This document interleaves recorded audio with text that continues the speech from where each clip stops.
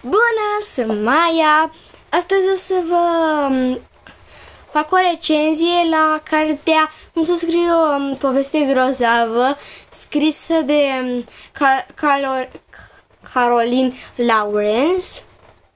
Am citit-o acum uh, câtva timp, am terminat-o. Este o carte despre care chiar te învață, de fapt, cum să scrii o poveste sau un film, o carte, un film chiar scrie uh, și rutina autoarei și ce metode folosește ea.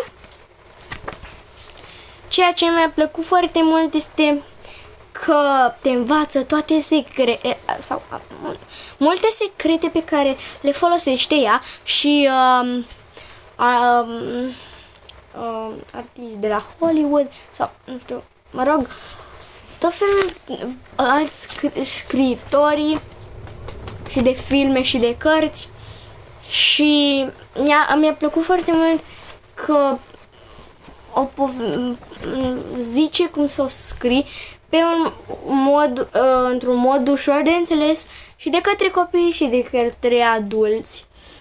Uh, pot să o citesc și adulții nu are prea multe imagini, are aproape la fiecare pauză, pa, pagină imagini și are la fiecare pauză, pa, pagină, nu pauză, câte o mică imagine acolo, scrie foarte, e ușor de citit, bine, de fapt nu e foarte ușor.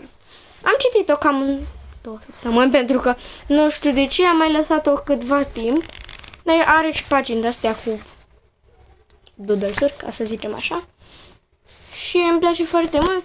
Te învață um, cei, câți pași erau, că nu mai știu, erau niște, așa, cei șapte pași pe care uh, John Travi îi folosește. Adică pașii sunt săgeată, adică problema, nevoie, dorința este lebădă din cristal, doar dă niște exemple. Așa. Uh, fund de bebeluș este adversarul, să zicem doar. Vela de iaht e planul călătoria. Uh, 5 degete lupta. Trompă cunoașterea. Stâncă nivelul nou.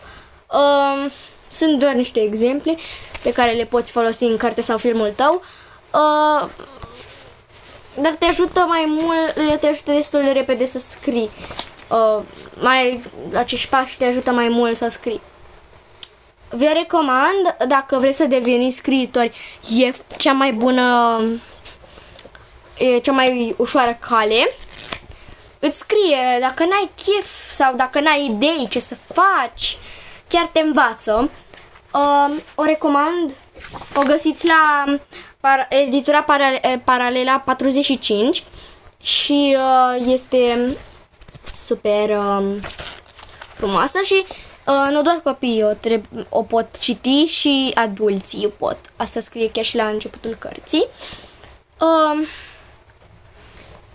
dă mai multe chestii, cum mai multe sfaturi de a scrie o poveste grozavă. Dacă v-a plăcut, dați like, abonați-vă și scrieți în comentarii dacă nu sunt dezactivate. Pa!